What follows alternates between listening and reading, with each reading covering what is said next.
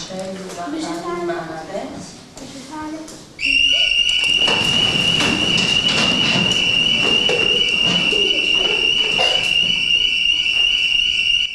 Pochi secondi ma che possono evitare il peggio in caso di terremoto.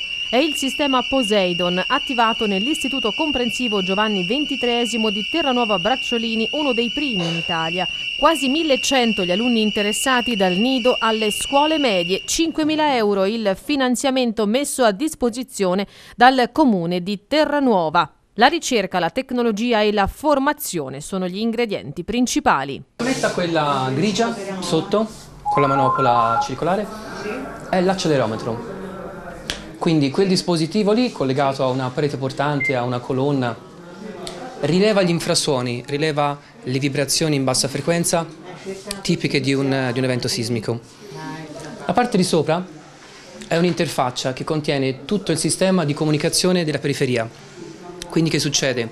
Quando l'accelerometro rileva un un evento sismico, quindi l'arrivo di, eh, un'onda sismica, la primaria in generale, che è la prima onda sismica che si trasmette durante un sisma, mh, mm, dà l'allarme e tutte le sirene collegate in tutti i corridoi, nelle palestre e comunque negli ambienti protetti, simultaneamente danno un allarme univoco affinché i bambini ovunque si trovino, che siano in ricreazione o che siano a scuola, eh, in, in aula o che siano in palestra, possano mettersi in sicurezza in uno due secondi.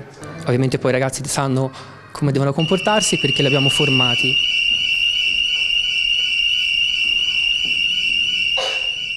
Poseidon serve a se in caso ci fosse le scosse di terremoto, quel, il Poseidon ce, ce le fa... Mm, ce le ce le, ce le comunica prima. prima. prima, che gli altri le riescano a sentire. Quindi avremo dei secondi molto importanti che non andranno sprecati. Quindi la preparazione dei bambini è importante proprio affinché questi secondi di preavviso noi non li sprechiamo, se no è come non averli avuto. Nel corridoio bisogna allontanarsi dalle finestre, poi... Mh, mm, mettersi sotto un arco oppure alla porta, sotto una porta.